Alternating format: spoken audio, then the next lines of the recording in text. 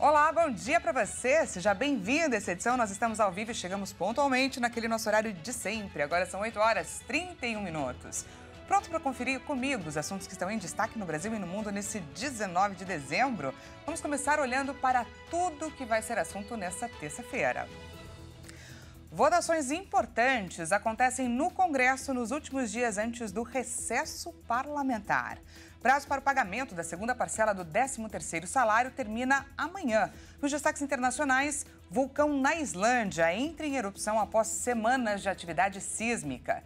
E ainda, líder norte-coreano alerta Estados Unidos que não tome uma decisão errada. Isso após o lançamento de um potente míssil balístico.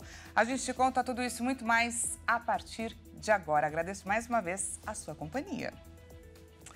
Bom, para começar bem o jornal de hoje, vamos iniciar falando desse calorão que já começa a dar uma trégua. Mas, como estamos aí na última terça-feira da primavera, ou seja, muito próximos da chegada da estação mais quente do ano, não trazemos muita previsão de temperaturas amenas, não. Eu te convido então a dar uma espiada em imagens direto de Salvador, na Bahia. A tecnologia é mesmo uma maravilha, não é? Agora por lá está fazendo 26 graus, mas ainda vai esquentar bastante. A máxima deve chegar a 32 graus. Depois a tendência é que essa temperatura caia, com a chegada, é claro, de uma chuvinha que promete derrubar os termômetros. A mínima prevista é de 25 graus. Na imagem você acompanha a tão popular Bahia de Todos os Santos. Salvador é magnífico, não é? Uma imagem linda para você começar muito bem a sua terça-feira. E vamos agora falar de recebidos. O prazo para o pagamento da segunda parcela do 13º salário termina amanhã, quarta-feira.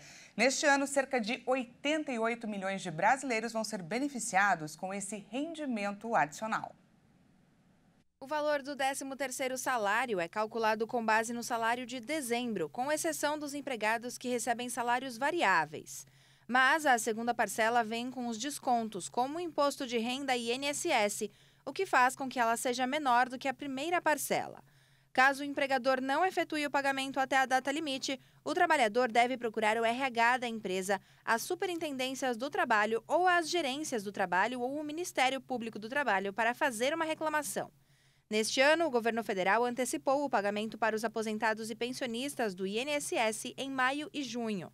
Todo trabalhador em regime previsto na CLT, que atuou por 15 dias ou mais durante o ano e que não tenha sido demitido por justa causa, tem direito à gratificação.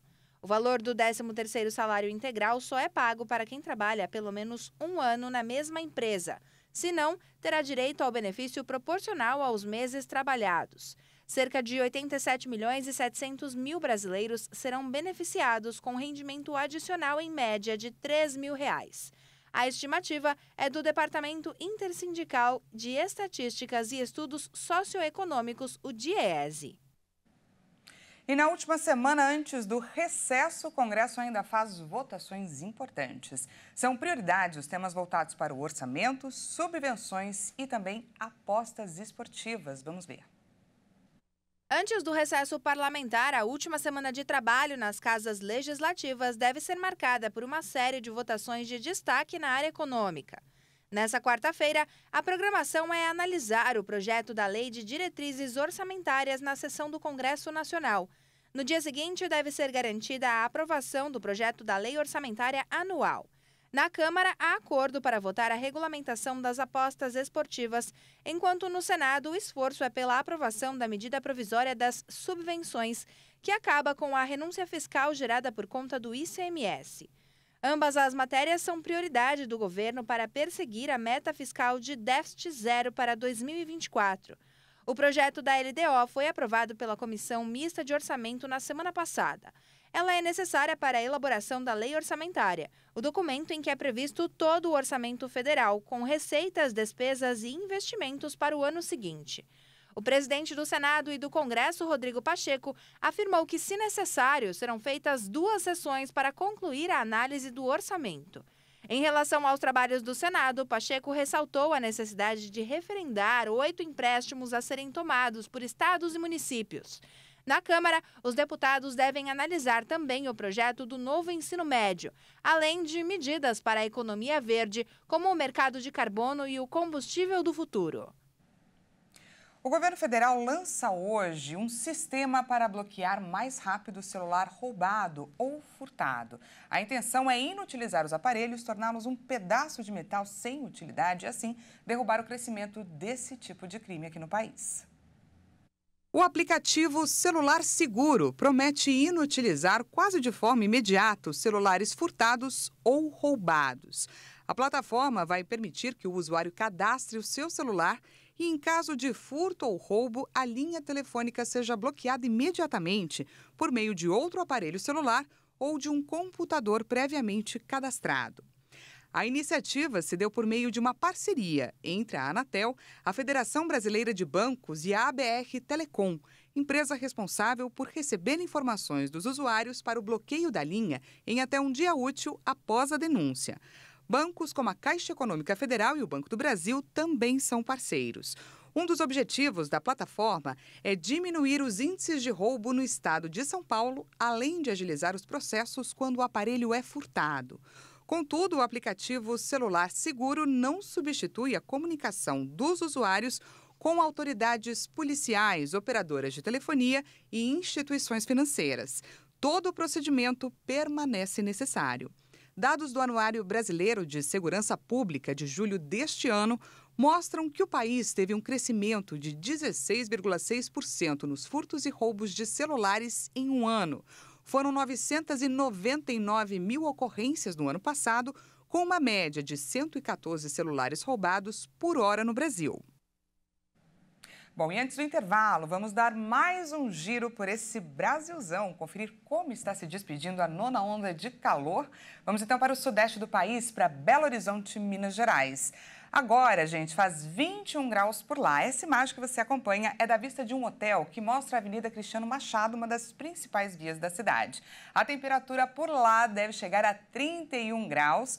Mas a gente também avisa que tem previsão de pancadas de chuva na parte da tarde, que deve se estender até a noite de hoje, de terça-feira. Você pode acompanhar nessas imagens como que o céu está limpo, sem nuvens, gente, praticamente bem azulzão. E é com esse céuzão que a gente vai para o intervalo e eu te convido a conferir mais notícias comigo. Veja a seguir: vulcão na Islândia entra em erupção após semanas de atividade sísmica. E ainda, líder norte-coreano alerta Estados Unidos que não tomem uma decisão errada. Isso após o lançamento de um potente míssil balístico. A gente volta já já com mais notícias para você.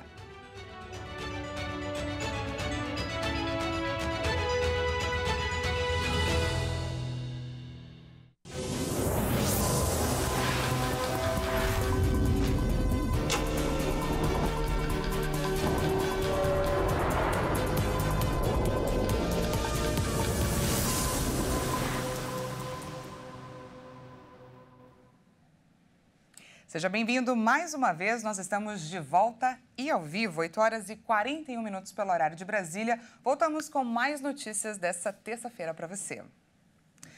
O ministro do Supremo Tribunal Federal, Alexandre de Moraes, determinou que 46 presos pelos atos do 8 de janeiro recebam liberdade provisória.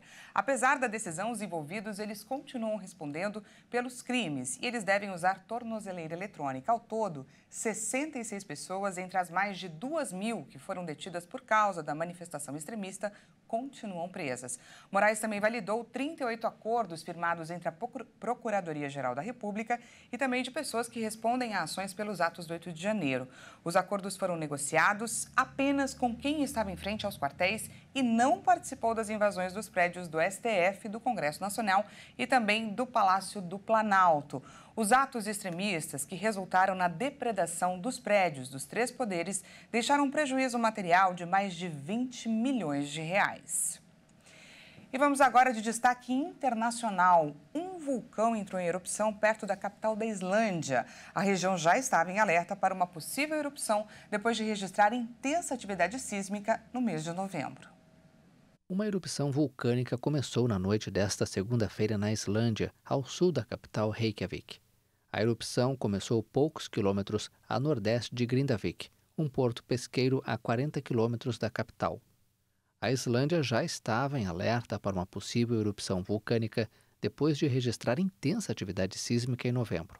Ocorreram milhares de pequenos tremores no sudeste da península, à medida que o magma se movia sob a crosta terrestre. Os quase 4 mil habitantes de Grindavik foram retirados de casa em 11 de novembro. A Islândia tem 33 vulcões ativos, o maior número da Europa. Bom, e agora foi a vez da líder da Coreia do Norte fazer um alerta aos Estados Unidos depois do lançamento de um míssil balístico que teria capacidade para atingir o país. Kim Jong-un prometeu acelerar o desenvolvimento nuclear norte-coreano e advertiu o governo americano a não adotar uma decisão equivocada. A Coreia do Norte divulgou nesta terça-feira as imagens do lançamento de seu míssil balístico mais potente. E o líder Kim Jong-un prometeu acelerar o desenvolvimento nuclear do país e advertiu o governo dos Estados Unidos a não adotar uma decisão equivocada. A declaração foi feita depois que ele supervisionou o lançamento do míssil balístico intercontinental mais potente do país. A agência KCNA informou que uma manobra de lançamento do ICBM Hwasong-18 foi efetuada com uma ação militar importante para mostrar claramente aos inimigos a vontade de reação esmagadora e a força incomparável das forças estratégicas nucleares norte-coreanas. A imprensa estatal acrescentou que o Hwasong-18, o maior míssil do arsenal norte-coreano, voou pouco mais de mil quilômetros e demonstrou a capacidade de combater do ICBM. Kim disse que o lançamento do míssil, com capacidade de atingir o território dos Estados Unidos, envia um sinal claro às forças hostis e coloca em marcha novas tarefas importantes para o desenvolvimento das forças nucleares estratégicas. O Ministério Sul-Coreano da Defesa afirmou que a Coreia do Sul, Estados Unidos e Japão ativaram nesta terça-feira um sistema para compartilhar em tempo real informações dos lançamentos de mísseis norte-coreanos, com o objetivo de fortalecer a cooperação na área de segurança. O novo teste ocorreu depois de uma reunião na sexta-feira em Washington, onde os Estados Unidos e a Coreia do Sul discutiram a dissuasão nuclear em caso de um conflito com o Norte. Washington e Seul advertiram no sábado que um ataque nuclear de Pyongyang contra eles resultaria no fim do regime norte-coreano. E o presidente ucraniano Volodymyr Zelensky saudou as novas sanções impostas pela União Europeia à Rússia. No texto estão expostas medidas contra a importação de diamantes russos para o bloco, um comércio que movimenta entre 4 e 5 bilhões de dólares, entre 20 e 25 bilhões de reais por ano para Moscou. Os países da União Europeia acordaram nesta segunda-feira novas sanções contra a Rússia. O 12º pacote foi anunciado na sexta-feira pelos representantes dos 27 países membros, mas não pôde ser adotado formalmente por objeções da Áustria, que foram superadas nesta segunda. Entre as medidas confirmadas por fontes oficiais do bloco estão a proibição das importações de diamantes da Rússia e a ampliação dos esforços para restringir tecnologia que Moscou possa usar com fins militares. Hoje quero agradecer aos nossos parceiros na União Europeia por aprovarem o 12º pacote de sanções. É importante que a proibição dos diamantes russos apareça pela primeira vez. Há novas medidas contra a invasão das sanções e contra o fornecimento de bens e tecnologias de dupla finalidade à Rússia. Há novas restrições às importações da Rússia. A Rússia é acusada de financiar uma parte do custo da guerra graças ao comércio de diamantes, cujo volume de negócios é de 4 ou 5 bilhões de dólares, entre 20 e 25 bilhões de reais ao ano. A proibição da importação de diamantes naturais ou sintéticos será aplicada a partir de janeiro, e no caso dos diamantes lapidados no exterior, a partir de setembro de 2024. E o Reino Unido reafirmou o apoio à Guiana. No começo deste mês, a Venezuela aprovou em um referendo a criação de uma província venezuelana na região do Essequibo. Esse território, rico em petróleo e recursos naturais que a Guiana administra, é reivindicado pela Venezuela.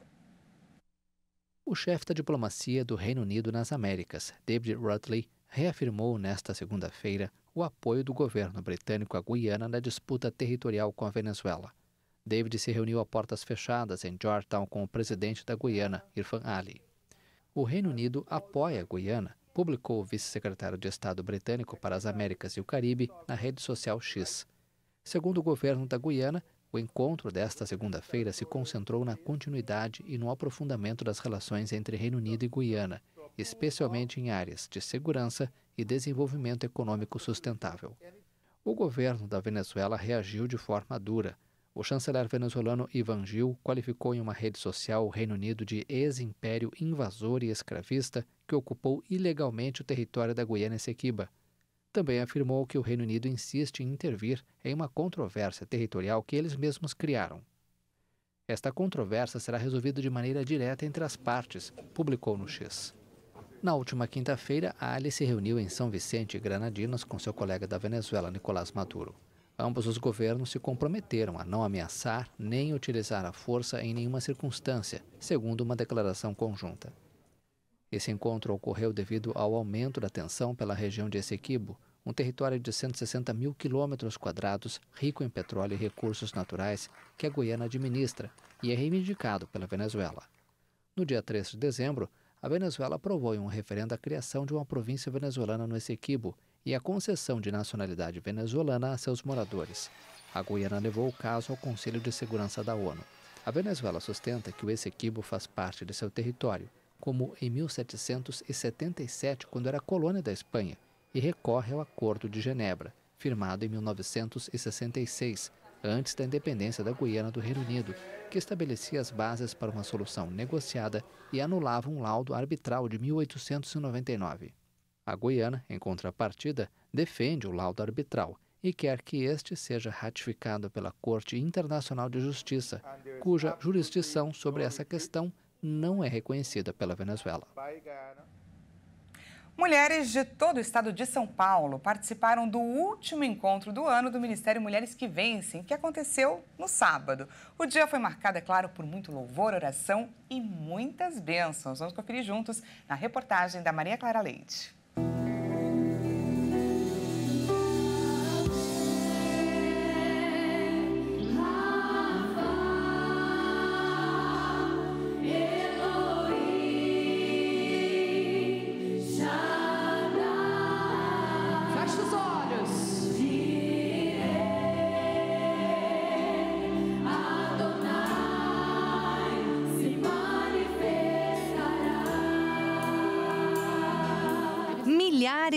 Mulheres reunidas em dois cultos, repletos de unção. Muito bom dia, mulheres que vencem! Se coloque de pé que nós vamos receber o convidado principal dessa manhã, que é Jesus Cristo, Rei dos Reis. Ele já está presente e ele vai se manifestar no nosso meio. Amém? Em nome do Senhor Jesus, vamos começar essa manhã aplaudindo Jesus bem forte, porque ele é digno de toda honra e de toda glória. Na abertura do primeiro culto, o missionário R.R. Soares ministrou uma palavra de salvação. Nós que aceitamos Jesus nascendo de novo, nós estamos marcados que somos do reino de Deus. Mas e os nossos filhos, filhas, netos, netas, bisnetos e por aí fora vai, vão ser salvos? Coloquemos isso como prioridade máxima. Foi justamente essa salvação que muitas mulheres vieram buscar aqui. A dona Adélia, por exemplo, busca pelos filhos e mais. Pela minha família. A salvação da minha família. Essa é a maior bênção que a gente espera na face da terra, né? A salvação da família.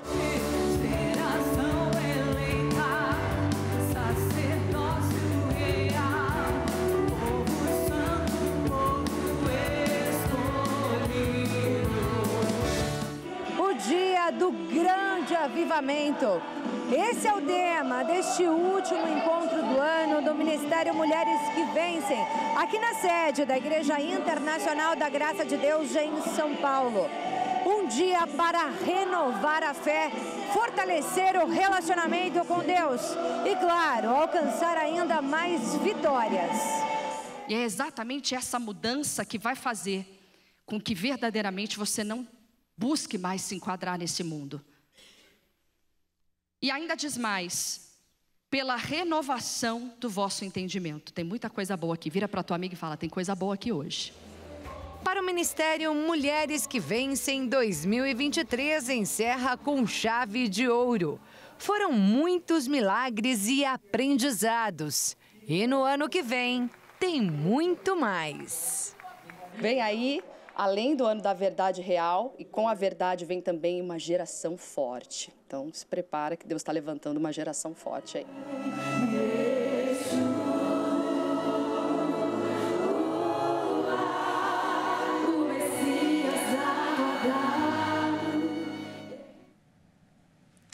Mais um evento maravilhoso. E antes de encerrar, vamos para um último giro. Vamos direto para o sul agora, para o município de Bento Gonçalves, no Rio Grande do Sul.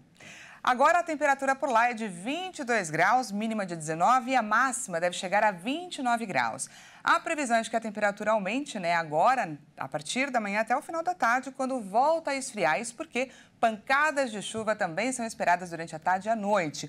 Ontem, gente, a gente falava sobre a possibilidade da tempestade que afetou o Uruguai e a Argentina no final de semana, com ventos de mais de 150 km por hora, que deixou inclusive vítimas, chegar até o Rio Grande do Sul. A informação que a gente tem é que eles podem sentir sim os reflexos desse fenômeno, mas aquela tempestade de fato já se dissipou. Então, para quem estiver na região com a temperatura aí próxima da casa dos 19 graus, dá até para preparar um chocolate quente, ficar bem aconchegante ligadinho aqui na RIT, aproveitando o clima mais ameno e se atualizando com as notícias do Brasil e do mundo.